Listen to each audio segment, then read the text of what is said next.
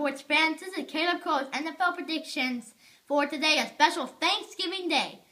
And it's a Thanksgiving Day, so so that's why I'm only doing today's Thanksgiving Thanksgiving games. And I have two special guests here with me. My my my dog Ruby and my sister Cora. And so my okay, so my three games today I'm gonna pick.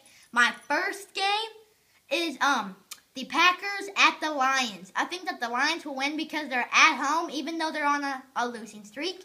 I still think that the Lions are good enough and are gonna be seven and five.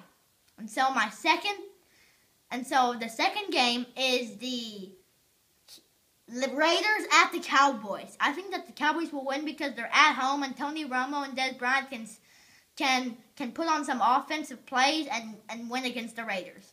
And so then my third game that I'm the third game today is um the Steelers at the Ravens. I think that the Ravens will win even though the Steelers have been playing really well the last couple of weeks. I think that the Ravens will win because they're at home and Joe Flacco and Jacoby Jones and some other good players can stop the Steelers. And that is my special Thanksgiving NFL predictions for, for the day. Show, show your kids, folks. Bye. See you later.